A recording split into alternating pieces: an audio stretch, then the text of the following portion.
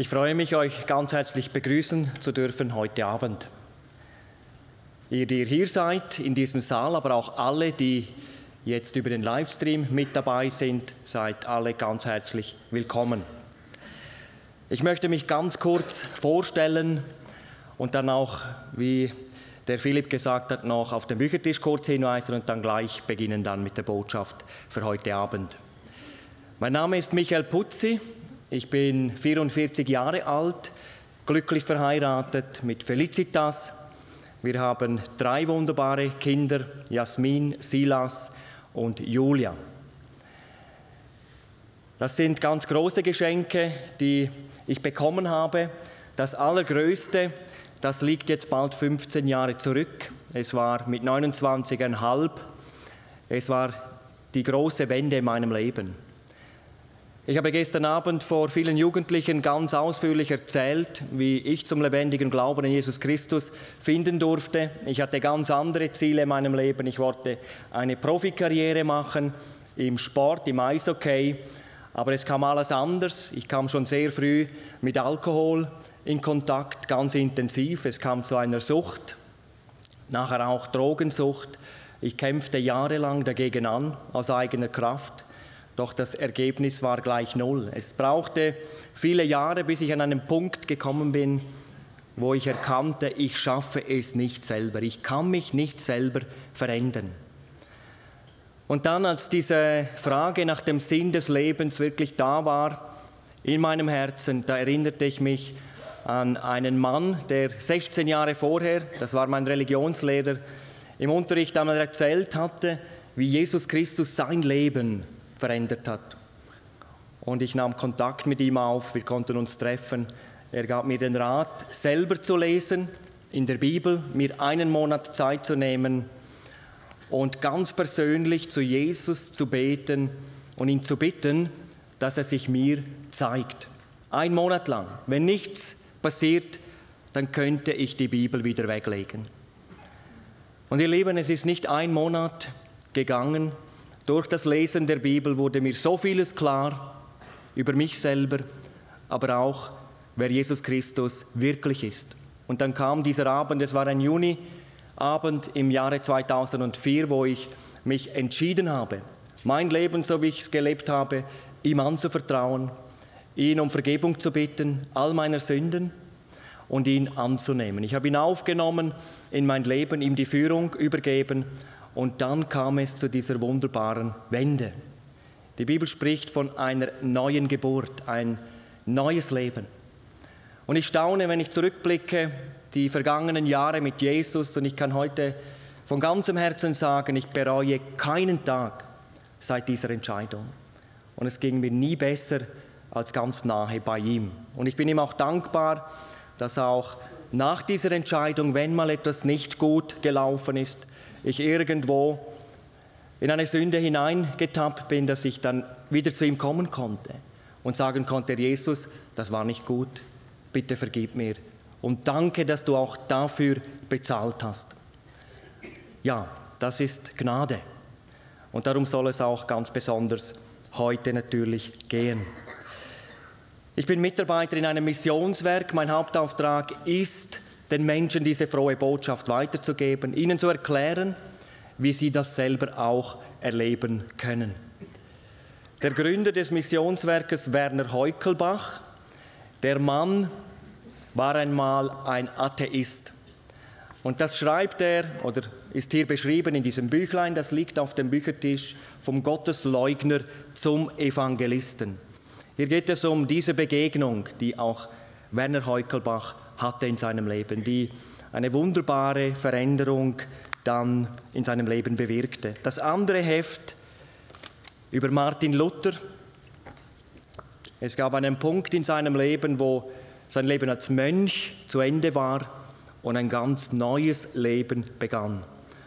Und den Segen, den Gott durch diesen Mann bewirkt hat, erleben wir bis in unsere Tage. Er hat die Bibel übersetzt. Ich lese heute auch den Bibeltext aus einer Luther-Übersetzung. Wer so ein Heft mitnehmen möchte, dürft ihr gerne, dürft auch mehrere mitnehmen, vielleicht sogar etwas weitergeben. Es hat noch viele andere Schriften. Ihr dürft euch gerne umschauen im Anschluss an diese Veranstaltung. Jetzt möchte ich gleich überleiten zur Predigt heute Abend. Das Thema eine Begegnung, die alles verändern kann. Eine Begegnung mit Jesus. Und für alle, die vielleicht heute zum allerersten Mal mit dabei sind, bei so einer Veranstaltung, vielleicht über den Livestream heute zum ersten Mal dabei sind, möchte ich einleitend ein paar Gedanken sagen, damit alle so richtig verstehen, um was es eigentlich an diesem Wochenende geht. Wir nennen diese Veranstaltung Evangelisation. In einer Evangelisation reden wir hauptsächlich über Gott und über den Menschen. Und die Bibel beschreibt uns Gott als einen heiligen Gott. Er ist absolut heilig. Bei ihm gibt es keine Sünde. Und die Bibel beschreibt uns Menschen als sündige Menschen. Auf der einen Seite ist der heilige Gott, auf der anderen Seite ist der sündige Mensch. Und zwischen dem heiligen Gott und dem sündigen Menschen ist eine dicke Trennwand. So lesen wir es bereits im Alten Testament in Jesaja 59, Vers 2. Unsere Sünden scheiden uns von unserem Gott. Und wenn der Mensch in diesem Zustand stirbt, dann geht er ewig verloren. Er geht in die ewige Nacht, in die ewige Verdammnis. Aber durch Gottes große Liebe ist eben eine Umkehr möglich geworden. In seiner Liebe sandte er seinen Sohn Jesus Christus in diese verlorene Welt hinein. Und der Herr Jesus ging für die Schuld aller Menschen ans Kreuz von Golgatha. Dort bezahlte er mit seinem Leben, mit seinem Blut den Preis für deine und meine Schuld. Doch Jesus blieb nicht im Tode. Am dritten Tag auferstand er siegreich aus den Toten und sein Angebot steht bis heute. Vergebung der ganzen Lebensschuld und ewiges Leben. Jeder ist eingeladen, jeder darf kommen. Und unzählige haben es erlebt und sie können berichten von einem Tag in ihrem Leben, von einer Stunde, in der sie ganz bewusst zu Jesus Christus gekommen sind, ihm ihre Sünden bekannt haben, ihn um Vergebung gebeten haben und anschließend ihn ganz bewusst aufgenommen haben, in ihr Leben hineingebeten haben. Die Bibel sagt, sie sind wiedergeboren zu einer lebendigen Hoffnung und sie haben die absolute Gewissheit, nach dem Tode bei Jesus zu sein. Bei mir war das vor bald 15 Jahren. Wie geschieht so etwas? Darüber spricht die Bibel an vielen Stellen. Durch Bekehrung. Was ist Bekehrung? Ich möchte es mal ganz einfach erklären. Ich bringe meine Schuld zu Gott und er nimmt sie mir ab. Was ist Wiedergeburt? Der himmlische Vater bietet mir das neue Leben in seinem Sohn Jesus Christus an und ich nehme Jesus bewusst auf. Diejenigen, die ihn aufnahmen, so steht es in Johannes 1, Vers 12, denen gab Gott Macht, Gottes Kinder zu werden. Das sind die, die von Gott geboren sind. Und das ist jetzt meine Frage ganz persönlich an dich. Hast du das erlebt? Bist du bekehrt? Bist du von neuem geboren? Hast du diese Gewissheit des ewigen Lebens? Wenn nicht, ich lade dich ganz herzlich ein heute Abend. Im Anschluss an diese Botschaft, wir werden noch ein so wunderbares Lied anhören, dann möchte ich mit Gebet abschließen und diejenigen, die gemerkt haben durch diesen Abend, das ist genau das, was ich brauche. Die sind eingeladen in die Seelsorge, in die Aussprache. Dort möchte ich anhand einer Zeichnung einfach mal deutlich machen, was die Bibel über Errettung sagt wie man ganz sicher sein darf, dass man gerettet ist. Und ich wünsche dir viel Mut zu dieser Entscheidung, wenn du das noch nicht erlebt hast. Eine Begegnung mit Jesus kann alles verändern. Zwei bekannte Persönlichkeiten des 20. Jahrhunderts, sie haben kurz vor ihrem Tode Aussagen gemacht über die Lage dieser Welt und über die Hoffnung des Menschen. Bertrand Russell, das war der eine Mann. Der Mann starb im Jahre 1970. Er war ein englischer Philosoph und Mathematiker. Und kurz vor seinem Tode sagt er Folgendes. Die Menschheit befindet sich auf einer abwärtsführenden Spirale in die Verzweiflung. Ich habe jegliche Hoffnung für sie aufgegeben. Dieser Mann war ein verschworener Atheist. Also er glaubte nicht an die Existenz eines Gottes. Der andere, Paul Tournier, er lebte von 1898 bis 1986. Er war ein bekannter französischer Arzt und Psychiater. Er war ein treuer und gläubiger Christ, ein Anhänger Jesu Christi. Und er war fest davon überzeugt, dass die Bibel das absolut zuverlässige Wort Gottes ist.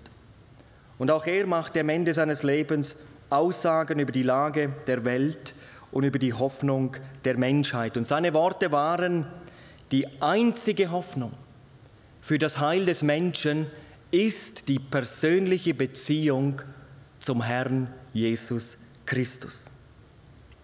Und ihr Lieben, wie tiefgreifend und lebensverändernd so eine Begegnung mit Jesus Christus ist, lesen wir an vielen Beispielen im Neuen Testament.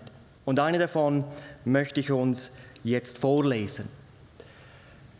Ich lese aus dem Lukasevangelium Kapitel 19 die Verse 1 bis 10. Wer eine Bibel dabei hat, darf gerne mitlesen.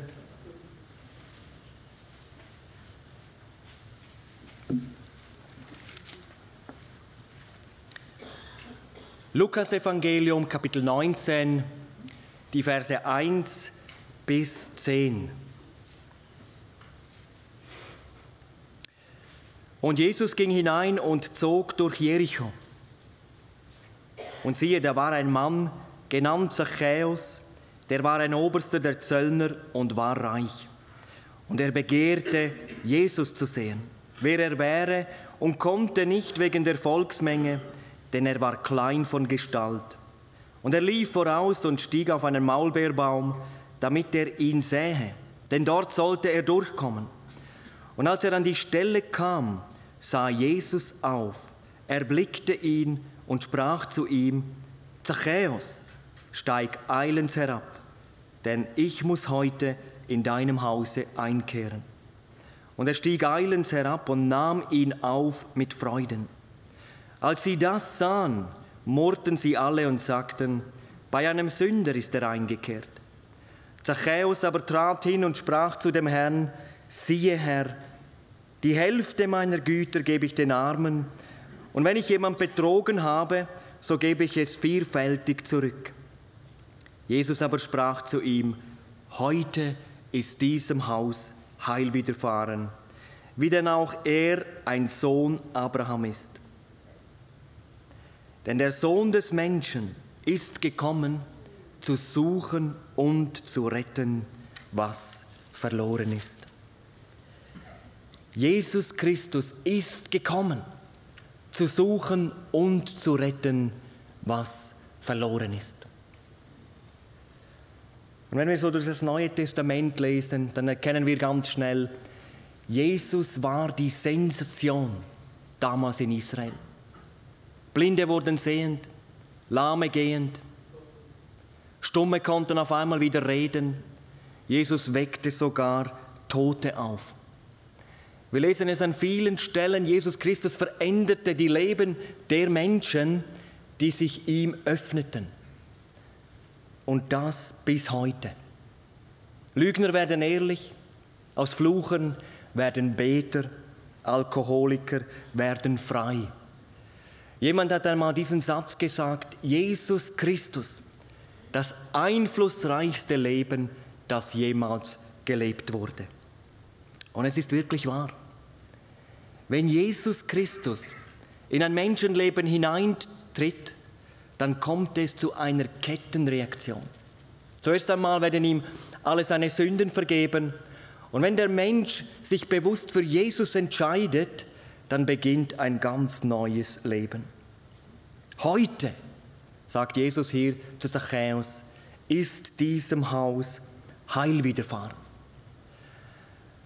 Nachdem ich damals diese große Erfahrung machen durfte, lernte ich natürlich andere Menschen kennen, Christen, Menschen, die Jesus Christus begegnet sind.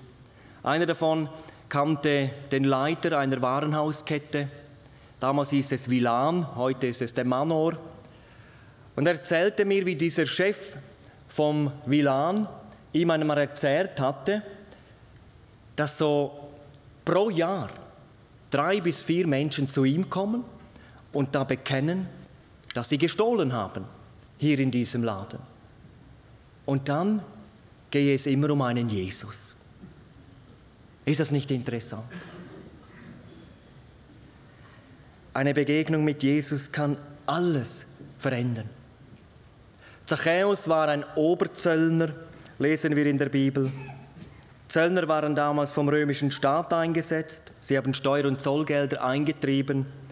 Und es war bekannt, dass sie oft zu viel verlangt haben und es so in den eigenen Sack gesteckt haben. Und darum waren sie verhasst bei den Leuten, bei den Menschen, besonders bei den frommen Juden. Der Begriff Zöllner war eigentlich identisch mit dem Begriff Sünder.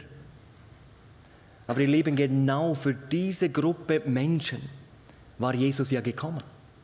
Er sagt es in Lukas 5, Vers 32, ich bin nicht gekommen, Gerechte zu rufen, sondern Sünder zur Umkehr. Und ist es nicht interessant, dass gerade ein Zöllner zum engsten Kreis der Jünger gehörte? Wir lesen die Namen im Neuen Testament der Jünger.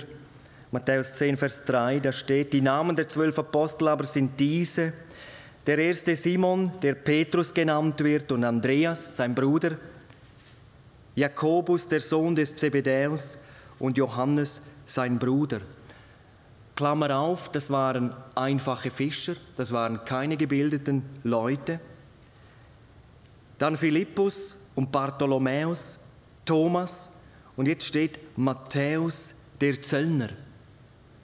Dann Jakobus, der Sohn des Alphaeus und Thaddäus, Simon der Kananäer und Judas der Iskariot, der ihn auch überlieferte.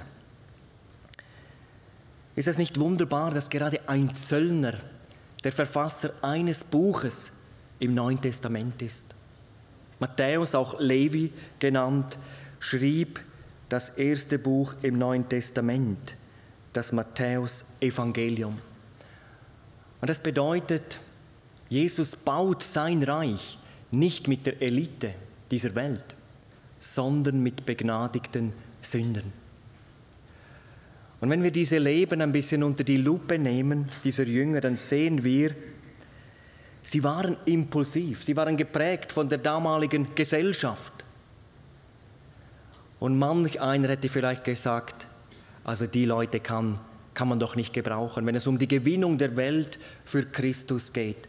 Und doch sah Jesus in ihnen das Potenzial für den Bau seines Reiches.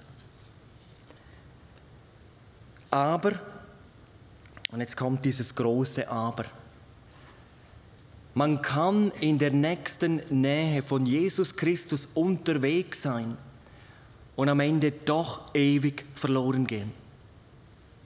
Judas, der Mann hat alles stehen und liegen lassen, um bei Jesus zu sein. Er war einer der engsten Mitarbeiter von Jesus.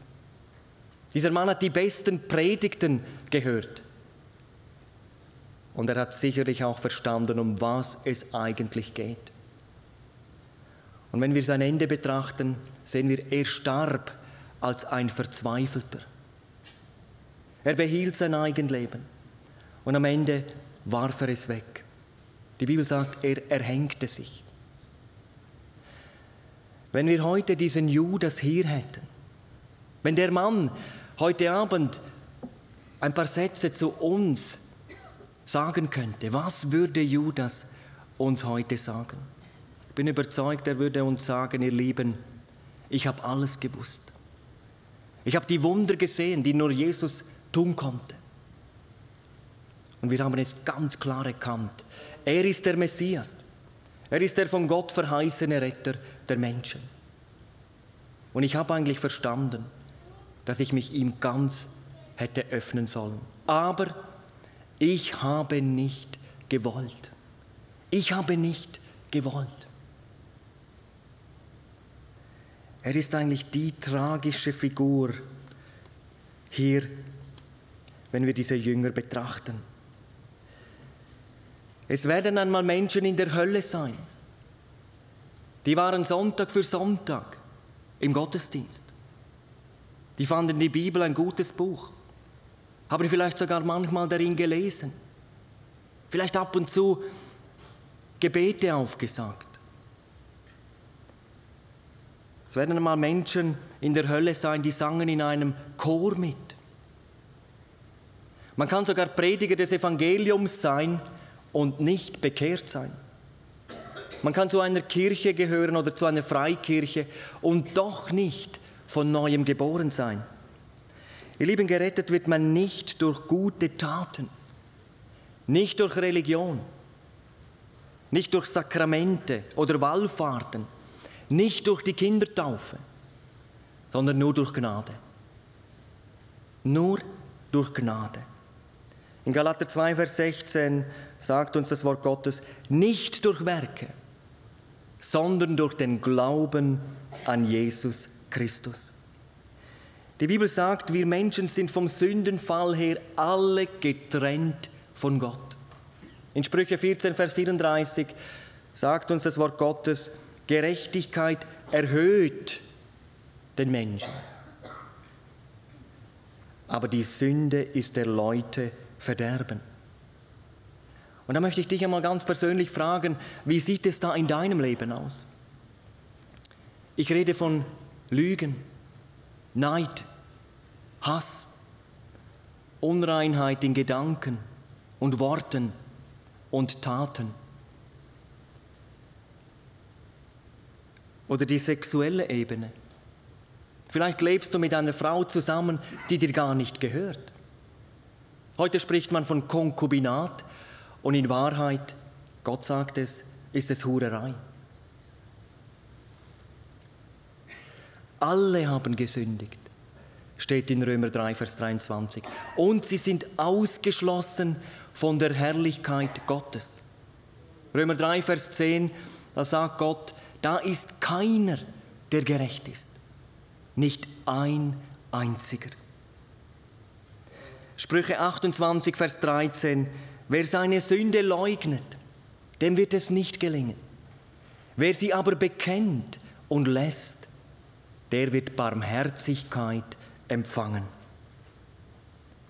Barmherzigkeit. Hört mal diesen Satz, den habe ich in der Bibel von meiner Frau gefunden. Sie macht sich manchmal so Notizen, wenn sie einen guten Satz hört, der eine tiefe Bedeutung hat, dann schreibt sie das rein und manchmal schaue ich da mal nach und da habe ich den Satz gelesen, ich habe mir den auch aufgeschrieben. Jesus ist der Einzige, der uns völlig durchschaut und dennoch liebt. Jesus ist der Einzige, von dem wir völlig durchschaut sind und dennoch geliebt sind. Und das ist das Wunderbare an meinem heutigen Beruf. Ich möchte das mal so nennen. Ich habe immer nur Menschen vor mir, die Gott lieb hat. Ich werde nie zu einem Menschen reden, den Gott nicht liebt. Gott liebt die Sünder. Was für eine Botschaft. Und eine Begegnung mit Jesus kann alles verändern. Ein wunderbares Beispiel. Da ist eine Frau, sie erzählt aus ihrem Leben, der Start in unsere Ehe war wunderbar. Unser Glück schien perfekt zu sein. Mit der Zeit aber wurden wir beide immer unzufriedener. Wir merkten, da innen drin ist ein Vakuum, das der Partner nicht erfüllen kann. Drei Jahre nach der Hochzeit entschlossen wir uns nach gegenseitigem Einverständnis, wie man so schön sagt, für eine Trennung und ließen uns scheiden. Circa einen Monat später wurde sie dann an einen Vortrag, einen christlichen Vortrag eingeladen. Und da erzählte ein Ehepaar ganz offen über ihre Probleme in der Partnerschaft und wie sie Jesus Christus persönlich kennengelernt haben. Und die erzählten dann, dass Jesus ihre Ehe ganz neu gemacht hat. Und dann sagte sie, ich war den Tränen nahe und dachte, warum habe ich das nicht früher gehört? Vielleicht hätte Jesus auch meine Ehe neu machen können. Noch in der gleichen Woche entschied sie sich für ein Leben mit Jesus Christus. In einem einfachen und ehrlichen Gebet sagte sie, Herr Jesus Christus, ich vertraue dir mein ganzes Leben an. Übernimm du die Herrschaft in meinem Leben. Führe du mich. Ich möchte ganz dir gehören. Ihr Ex-Mann erfuhr davon. Er begann in der Bibel zu lesen, die er von der Trauung noch hatte. Und dann geschah das Wunder.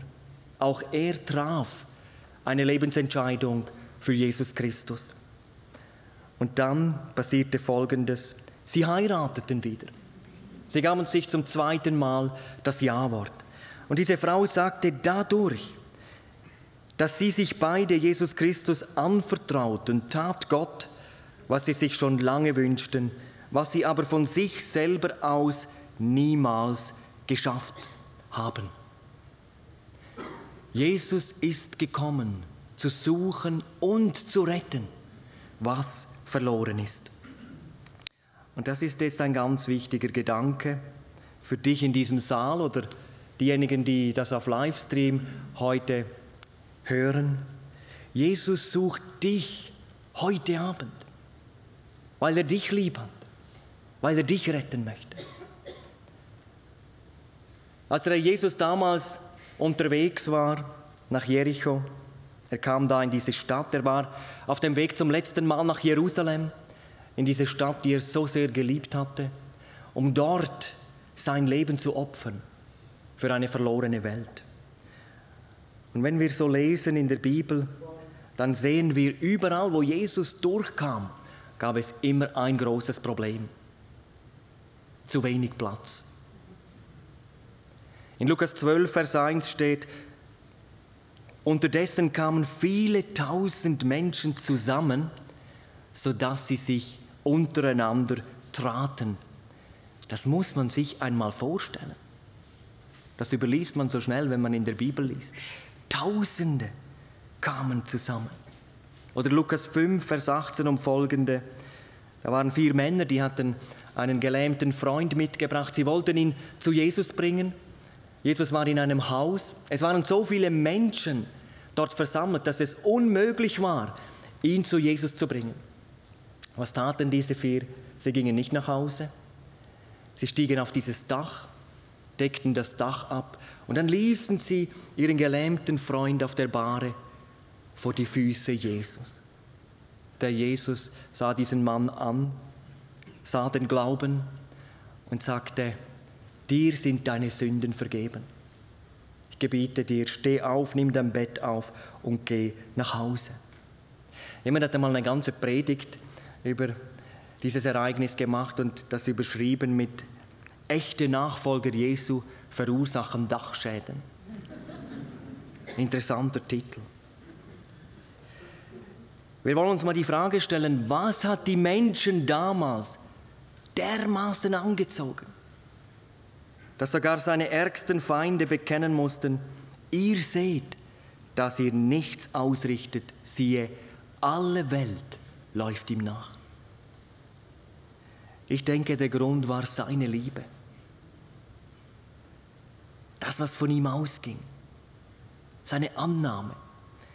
Jesus ging zu denen, die von der Gesellschaft verachtet waren, die ausgeschlossen waren. Er führte sie zurück in eine Beziehung zum lebendigen Gott. Und davon hatte auch Zachäus sicherlich gehört. In unserem Text lesen wir, Zachäus begehrte, Jesus zu sehen. Ich finde das eine ganz gute Übersetzung dieses griechischen Wortes Zeteo. Manche Übersetzungen sagen, Zachäus wollte oder wünschte, Jesus zu sehen. Aber Begehren ist, denke ich, noch intensiver beschrieben. Dieser Zachäus begehrte, Jesus zu sehen. Und er war klein von Gestalt. Und dann tat dieser Mann etwas, was eigentlich für einen Oberzöllner sehr ungewöhnlich war. Er kletterte auf einen Maulbeerbaum es war ein Baum mit so niedrig ausladenden Ästen. So ein kleinwüchsiger Mensch konnte gut auf so einem Ast liegen über der Straße. Und jetzt stellen wir uns mal diese Situation vor. Da ist dieser Zachäus auf diesem Baum. Jesus kommt, bleibt unmittelbar stehen, schaut hinauf. Und dann muss dieser Zachäus etwas gesehen haben, was schöner gewesen sein muss als der schönste Sonnenaufgang in Jericho. Es führte zu einer Umwandlung seines Innersten. Zachäus sagte später, die Hälfte meiner Güter gebe ich den Armen. Und wenn ich jemanden betrogen habe, gebe ich es vielfältig zurück. Ihr Lieben, das ist das Kennzeichen einer echten Umkehr. Das Kennzeichen einer echten Bekehrung ist nämlich auch die Bereitschaft der Wiedergutmachung von Dingen, die mir dann bewusst werden. Gestohlenes zurückbringen. Sich entschuldigen auch bei Menschen, denen ich etwas zu Leide getan habe. Ich habe gehört von einem jungen Mann, er ist jahrelang schwarz gefahren bei der SBB, wurde nie erwischt. Und dann begegnete er Jesus. Er durfte sich bekehren. Ihm war völlig bewusst, mir sind alle meine Sünden vergeben. Ich habe ein neues Leben. Und dann auf einmal wurde ihm bewusst, das, was ich da gemacht habe, das war nicht in Ordnung. Er setzte sich hin, schrieb einen Brief er versuchte das irgendwie mal zusammenzurechnen, das ging in die Tausende von Franken. Und er schrieb da hinein, ich habe mich entschieden für ein Leben mit Jesus Christus. Ich möchte bekennen, dass ich jahrelang diese Bundesbahn betrogen habe. Und ich bitte Sie um Vergebung. Es ging ja nicht lange, da kam eine Antwort, auch per Brief. Da stand drin, wir danken Ihnen für dieses Bekenntnis. Wir freuen uns und wir erlassen ihnen alle Schuld. Ihr Lieben, das ist ein Wunder. Das ist nicht immer so, dass wenn Menschen dann Dinge bekennen. Ich habe kürzlich in Deutschland in einer Evangelisation einen Mann kennengelernt, der ist heute in der Gemeinde, der ist da Mitarbeiter, der hatte einst einen Banküberfall gemacht und der wurde nicht erwischt. Und dann kam es zur Bekehrung und dann ging er zur Polizei und erzählte das alles und der musste ins Gefängnis. Heute ist er ein ganz hingegebener Mitarbeiter und auch durch sein Zeugnis können Menschen sehen, was Gott Großes tun kann in Jesus Christus. Heute wird oft darüber diskutiert, ob man Menschen drängen soll, Christus anzunehmen. Ich denke, uns ist allen bewusst, Gott wird nie einen Menschen retten, der nicht gerettet werden will. Das würde er nicht tun. Aber auf der anderen Seite ist es eben genau gleich. Jesus wird nie einen Menschen verloren gehen lassen, der gerettet werden möchte. Es gibt ein Gebet in der Bibel, das Gott immer erhört, wenn es um Errettung geht. Apostelgeschichte 2, Vers 21, hier steht, es wird geschehen, jeder, der den Namen des Herrn anrufen wird, wird gerettet werden. Im Neuen Testament sehen wir, dass die Menschen in den allermeisten Fällen Jesus eingeladen haben, zu ihnen zu kommen. Doch hier im Fall von Zachäus war es nicht so. Jesus sagt, Vers 5, Lukas 19, Zachäus, steige schnell herab, denn heute muss ich in deinem Hause einkehren. Das war jetzt keine Bitte, sondern ein Befehl Jesu. Ich könnte natürlich fragen, ja, wurde Zachäus zu dieser Begegnung gedrängt, die sein Leben total verändert hat? Definitiv nein. Aber als er dieser Liebe Jesu begegnete. Da wurde dieser Aufstieg auf den Baum der Einstieg ins Reich Gottes. Sein Leben hat an diesem Tag ein ganz neues Fundament erhalten. Ewigkeitsfundament. Er öffnete ja nicht nur sein Haus für Jesus, sondern er öffnete sein ganzes Leben für Jesus. Und das, ihr Lieben, ist der Schlüssel zu einem erfüllten Leben. Die Bibel sagt es in Johannes 1, Vers 12, allen denen, die Jesus aufnahmen, bewusst ihn ins Leben hineinbitten, denen gibt Gott Macht, Gottes Kinder zu werden. Das sind die, die von Gott geboren sind. Wir wollen uns einmal fragen, was genau bewirkt eine Entscheidung für Jesus Christus. Eine Entscheidung für Jesus Christus bewirkt, dass Gott in seiner Macht, in seiner Liebe, in das Leben dieses Menschen hineintritt. Und es kommt zu einem Herrschaftswechsel. Die Weichen werden neu gestellt. Und darf ich einmal diese Frage stellen heute Abend? Glaubt noch irgendjemand hier in diesem Saal, dass der Mensch sich selber verändern kann? Ich habe diese Hoffnung schon lange aufgegeben. Nicht, weil ich ein Pessimist bin, sondern weil ich durch Jesus ein Realist geworden bin. Wie viele Jahre habe ich selber gekämpft und aus eigener Kraft versucht, mein Leben zu ändern. Ergebnis war gleich null. Menschen können Masken aufsetzen. Sie können sich verstellen vor der Umgebung, aber aus der Tiefe heraus sich verändern, das kann der Mensch nicht. Das kann nur Jesus. Und ich habe es selber erlebt, wie Jesus innerhalb von einer Stunde ein Menschenleben völlig neu machen kann, ihm eine ganz neue Richtung geben kann.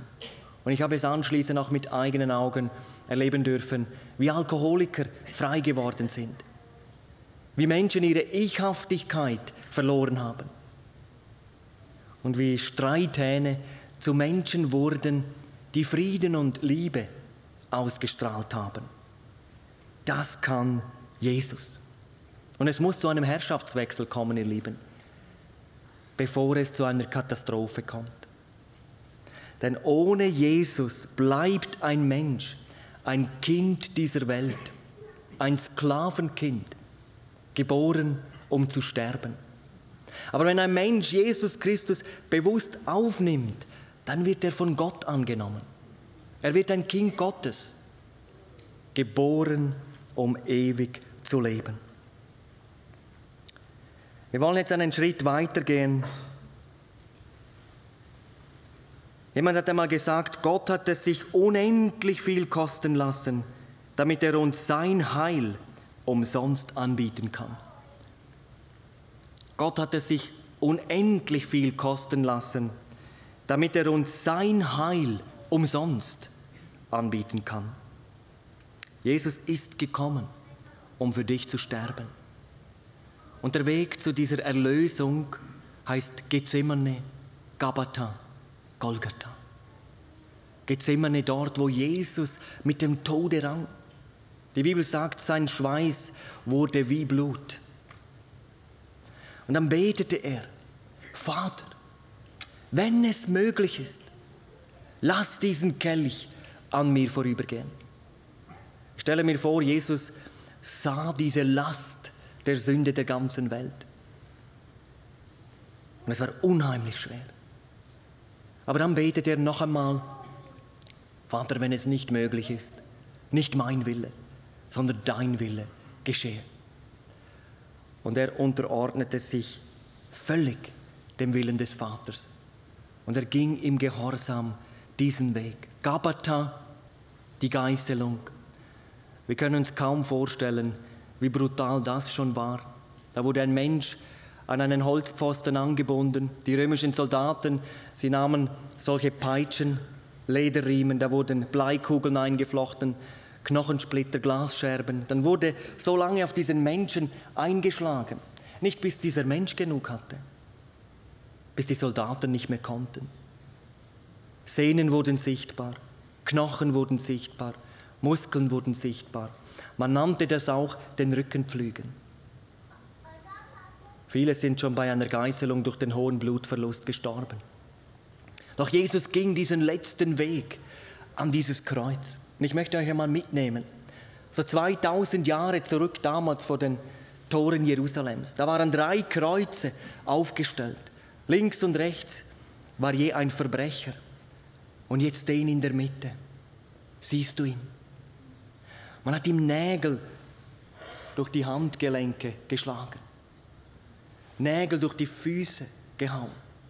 Eine Dornenkrone haben sie ihm ins Haupt gedrückt. Er war furchtbar zugerichtet. Man erkannte ihn eigentlich nicht mehr als einen Menschen. Die Leute verbargen ihr Angesicht. Die Haut hing in Fetzen herab. Sechs Stunden hing Jesus an diesem Kreuz. Und dann rief er hinaus, es ist vollbracht. Und er neigte sein Haupt und verschied. Doch dann die Auferstehung am dritten Tag. Der Vater im Himmel nahm dieses Opfer seines Sohnes an und bestätigte es als vollkommen gültig, indem er seinen Sohn auferweckte aus den Toten und ihn zum Retter der ganzen Welt bestimmte. Und jeder kann kommen. Und Jesus sagt, ich bin gekommen, die Sünder selig zu machen. Und Errettung, ihr Lieben, gibt es nur durchs Kreuz. Wäre Jesus nicht an diesem Kreuz bereit gewesen, dieses Opfer zu bringen, könnte kein Mensch gerettet werden. Aber das heißt auf der anderen Seite, wenn wir gerettet werden wollen, dann müssen wir zu Jesus kommen. Wir müssen ihm unsere Sünden in einem Gebet bekennen, ihn als unseren Retter erwählen und annehmen, uns ganz bewusst für ihn entscheiden. Jesus entschied sich für dich. Gestern Abend waren einige junge Leute im Anschluss in die Seelsorge gekommen. Es gab sogar solche, die waren zum ersten Mal an so einem Abend dabei. Sie verstanden diese Botschaft. Und sie haben auch begriffen, was Jesus für sie Großes getan hat. Und ich möchte dir heute Abend sagen, was machst du mit Jesus? An dieser Frage entscheidet sich deine Ewigkeit. Hast du dich hier für Jesus Christus geöffnet, wirst du einst eine offene Tür haben. Hast du hier Ja gesagt zu ihm, wirst du einmal sein Ja hören. Hast du dich hier verschlossen für Jesus, wird die Türe verschlossen sein. Hast du Nein gesagt zu Jesus, wirst du einmal sein Nein hören. So wie du hier mit Jesus und seinem Angebot umgehst, so wird er einmal mit dir in der Ewigkeit umgehen. Jemand kam damals zu Jesus und fragte ihn, Herr, sind es wenige, die errettet werden? Und Jesus antwortete, ringet danach, ringet danach, dass ihr eingeht durch die enge Pforte. Denn viele, so sage ich euch, werden hineinzugehen suchen und es nicht können. Lukas 13, Vers 25, wenn einmal der Hausherr aufgestanden ist und die Türe verschlossen hat, dann werdet ihr anfangen draußen zu stehen und an die Tür zu klopfen und zu sagen, Herr, Herr, tue uns auf. Dann wird er antworten und zu euch sagen, ich weiß nicht, woher ihr seid. Dann werdet ihr anfangen zu sagen, wir haben vor dir gegessen und getrunken und du hast gelehrt auf den Straßen. Und er wird sagen, ich sage euch, ich kenne euch nicht und weiß nicht, woher ihr seid. Weichet von mir alle, ihr Übeltäter. So steht es in der Bibel. Ihr Lieben, die Bibel spricht vom ewigen Leben, vom Miterben, vom Mitherrschen, von Frieden, von Freude. Und das ist ein herrliches Thema.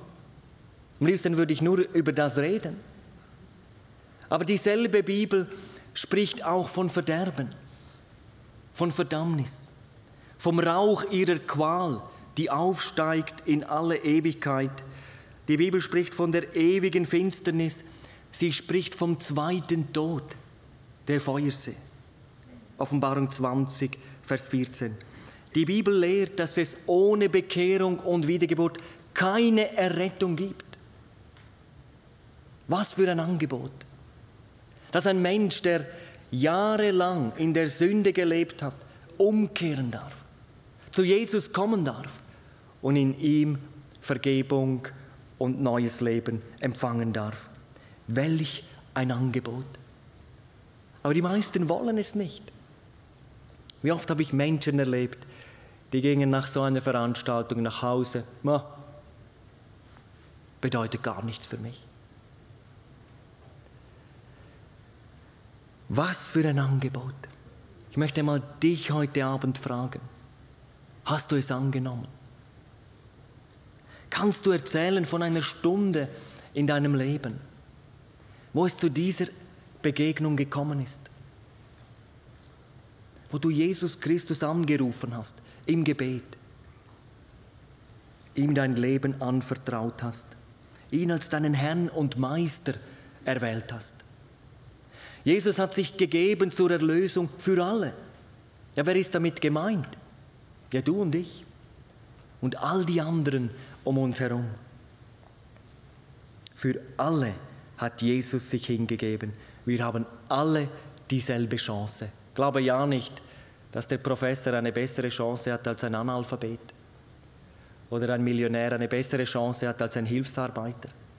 Wir haben alle die gleiche Chance. Gottes größter Wunsch ist es, dass wir alle gerettet sind. Bist du gerettet? Mal ganz ehrlich, bist du gerettet?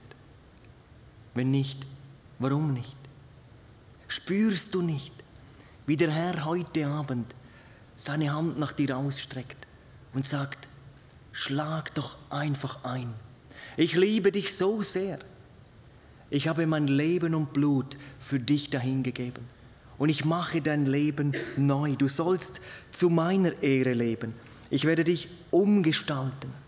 Du darfst ein Leben zu Gottes Ehre führen. Öffne doch dein Herz heute Abend für Jesus. Das kann der größte Abend heute für dich sein. Ich habe am Anfang gesagt, Jesus war die Sensation damals in Israel. Blinde wurden sehend, Lahme wurden gehend. Herr Jesus weckte Tote auf. Er war wirklich die Wucht. Jetzt könnte man sagen, ja, das war damals so. Nein, es ist heute noch so. Er ist derselbe, sagte uns das Wort Gottes in Hebräer 13, Vers 8. Gestern, heute und in Ewigkeit. Wenn du heute dein Leben, dein Herz dem Herrn Jesus Christus öffnest, dann wird er deine Sünden vergeben. Er wird deine Probleme lösen, deine Lasten abnehmen. Und wenn du nicht gewiss bist, dass du errettet bist und du bist bereit, heute Jesus als deinen Heiland, deinen Retter anzunehmen, dann wirst du heute Abend errettet nach Hause gehen. Ich möchte abschließen mit zwei Berichten von zwei Leuten, die habe ich persönlich kennengelernt. Die eine, sie war damals 20 Jahre alt. Sie saß in so einer Veranstaltung, in Deutschland war das. Es kam dann ein Ruf zur Entscheidung für Jesus. Damals war es so, dass die Menschen, die gemerkt haben, ich brauche das, ich möchte das auch, ich habe verstanden, um was es geht, nach vorne zu kommen. Im vorderen Bereich des Saales und dann stand diese Frau auf und sie kam nach vorne. Und sie machte an diesem Abend eine besondere Erfahrung. Sie beschrieb mir das so, ich habe von ihr die Erlaubnis, das auch weiterzugeben, darum möchte ich da ein paar Sätze vorlesen. Du erinnerst dich an den Abend damals in Dietingen. Dort bin ich aufgestanden und nach vorne gekommen. Ich wollte dir sagen, dass seit diesem unvergesslichen Abend alles anders geworden ist. Ich kann spüren, dass Jesus durch mich wirkt. Zum ersten Mal fühle ich eine tiefe Ruhe in mir und fühle mich sorgenfreier. Ich dachte nie, dass durch so ein Ereignis so viel passieren kann. Es war die beste Entscheidung meines Lebens. Ein paar Wochen später schrieb sie dann, mein größtes Ziel ist es jetzt, dass so viele Menschen wie möglich davon erfahren, wie wunderbar so ein Ereignis ist und wie es das Leben positiv durch Jesus Christus verändert. Meine Prioritäten sind seit der Bekehrung völlig andere geworden und die weltlichen Bedürfnisse haben sehr an Bedeutung für mich verloren. Jesus Christus ist meine Nummer eins geworden. Ihm verdanken wir alles. Der andere, Taysir Abu Sada. Ich durfte einige Mal in Israel sein, so eine Reise erleben. Das erste Mal war es das ganz besondere Erlebnis, aber auch die anderen Reisen waren ganz besonders. Wir durften dann in Jericho so einen Kindergarten besuchen. Dort wird palästinensischen Kindern vieles weitergegeben vom Wort Gottes. Eine christlich, also christliche Werte vermittelt. Der Name dieses Werkes heißt Seeds of Hope, Saat der Hoffnung. Taysir Abu Sada, er war der Gründer. Er war früher Scharfschütze der PLO. Er hatte viele Menschen im Auftrag Arafats umgebracht. Sein Leben war jahrelang erfüllt von Hass und Dunkelheit. Doch dann kam es zu dieser Begegnung mit Jesus Christus und er wurde ein neuer Mensch. Und er sagte, als Jesus in mein Leben kam, war es wie wenn eine Last so groß wie ein Berg von meinen Schultern abfiel. Frieden durchströmte mich, wie ich, wie ich es noch nie erlebt hatte. Mein Hass war völlig verschwunden, ich war ein freier Mann. Christus hat meine Bitterkeit in Frieden verwandelt und meinen Hass in Freiheit. Und auf die Frage eines Reporters, wie viele Menschen er im Auftrag Arafats umgebracht hätte, antwortete er, ich habe nicht gezählt. Das ist eine dunkle Zeit, an die ich mich am liebsten nicht zurückerinnern mag. Ich rede viel lieber über das Blut, das Christus für mich am Kreuz vergossen hat, nicht über das Blut, das wegen mir floss. Eine Begegnung mit Jesus kann auch dein Leben wunderbar verändern. Der Himmel steht offen, heißt es in einem Lied. Herz, weißt du warum? Weil Jesus gekämpft und geblutet. Darum. Nach allem, was ich heute gesagt habe, gibt es eine offene Frage. Was machst du jetzt mit Jesus? Der Herr steht heute hier unsichtbar in diesem Saal und doch gegenwärtig. Und er hat vor 2000 Jahren Ja gesagt zu dir. Und heute wollen wir eine Gelegenheit geben, dass du Ja sagen darfst, dass du zu Jesus Christus kommen darfst, so wie du bist. Er sagt, wer zu mir kommt,